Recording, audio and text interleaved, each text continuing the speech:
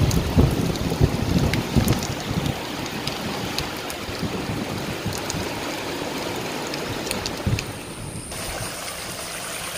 วัสดีครับเพื่อน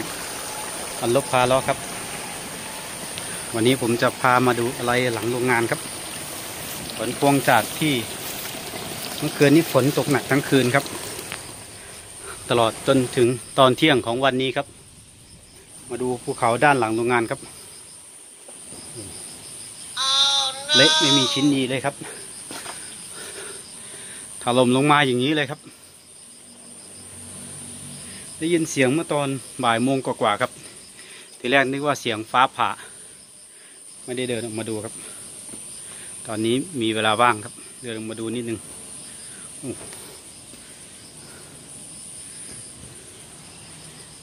ดูครับ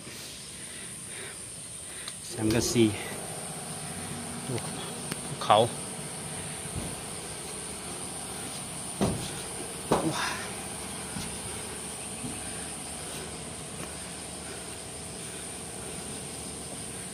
โค้งขนาดนี้เลยครับ ไม่รู้ว่าจะมีการถล่มซ้ำหรือเปล่า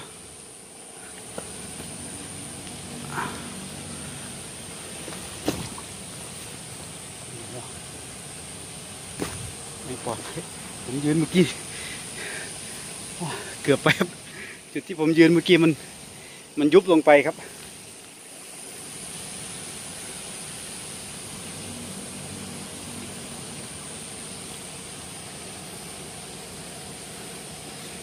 ว้า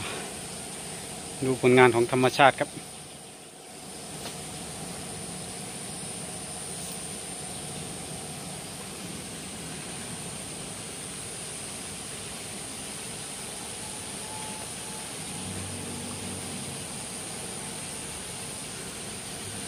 ก่อนตรงนี้มันจะเป็นร่องเล็ก ๆ ครับ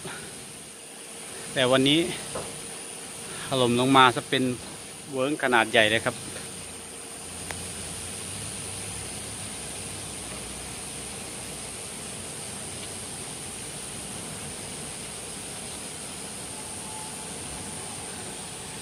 ด้านข้างยังมีที่รอ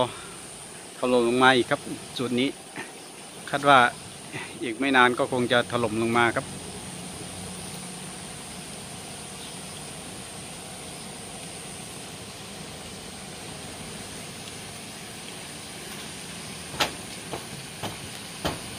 โอเคครับให้ดูกันสั้นๆ ความน่ากลัวของธรรมชาติ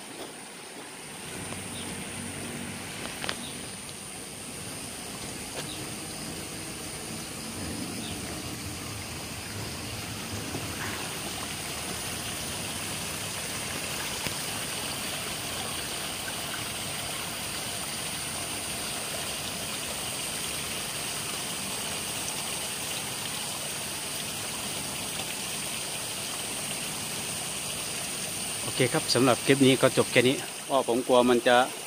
ตกลงมาอีกครับ ต้องรีบ ต้องรีบถอยก่อนครับ